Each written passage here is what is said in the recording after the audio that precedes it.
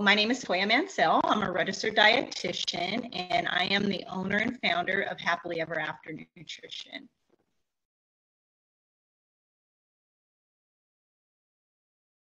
Yes, so Happily Ever After Nutrition is a virtual nutrition private practice ready to meet clients' nutrition, health, and wellness needs through nutrition coaching, nutrition counseling, and nutrition education classes.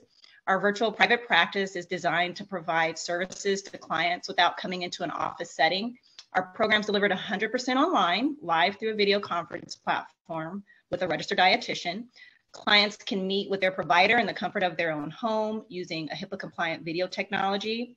Uh, sometimes our clients may have yearly checkups with their family physician, which is a perfect way to assess their health.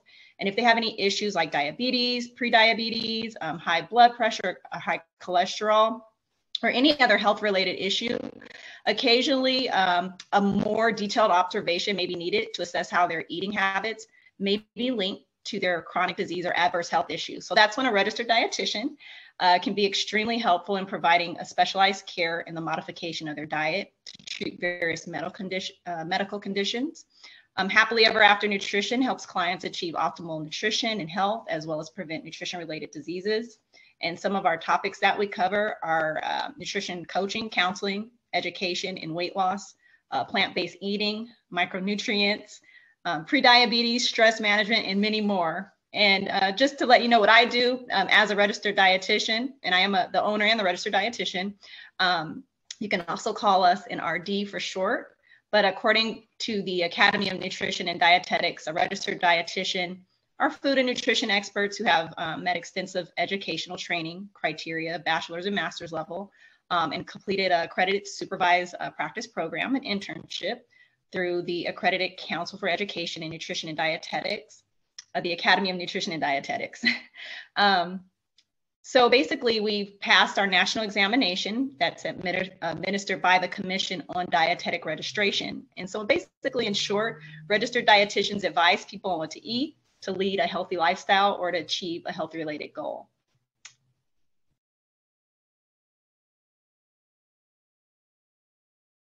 The first step to handling adversity on the job is to identify who's involved uh, what type of adversity you're experiencing. The adversity that uh, that's in the dietetic industry is facing is having a lack of dietitians from underrepresented backgrounds. So in the dietetic industry, 80% of registered dietitians are white, only 6% Hispanic Latino, 3% Black or African, 5% Asian. Native Americans, the percent is so low that it's not even counted. Um, the populations that have the highest percentage of chronic diseases that are preventable through nutrition and uh, lifestyle changes are populations that have the lowest percentage of registered dietitians.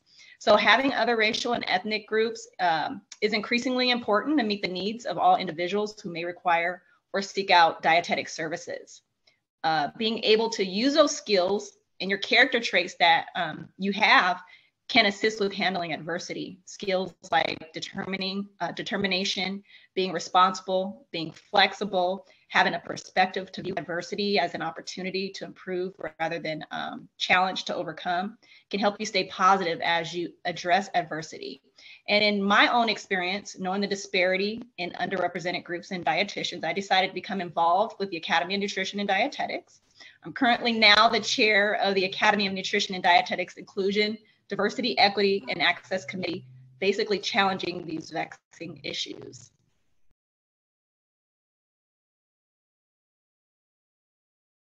The female leader that has inspired me the most is Dr. Evelyn Crayton. She's the first Black president of the Academy of Nutrition and Dietetics, and she's also a registered dietitian. I'm so fortunate to personally know her and work with her. I've been able to hear the stories that she's had of becoming a registered dietitian over 60 years ago, living in the South, and I admire her for her perseverance through all the difficult times, never giving up, um, through the unjust, the unfair experiences that she's endured. She has inspired and motivated me to be a leader myself, to continue to fight for the change that I want to see in this industry. Um, I feel that she, if she could do it during those times, I can definitely do it.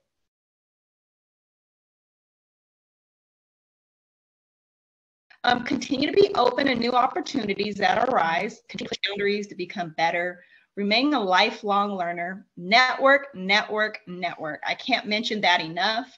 Join um, organization and and associations that pertain to your field to get those networking opportunities um, that will help you advance in your career. Don't be afraid um, to start an internship with different organizations before you decide to get locked into a job. Starting with an internship will not only help you network or get um, your foot in the door or inside connections, but it can teach you the skills um, that you can go into another organization and say that you have that experience. Also, just because you're a new in a new career, don't get chump change, which I, I say chump change on your salary. Definitely negotiate your salary. Um, let them know what you want and come to an agreement. And that's some of the advice that I have for students who are preparing for their first real world career.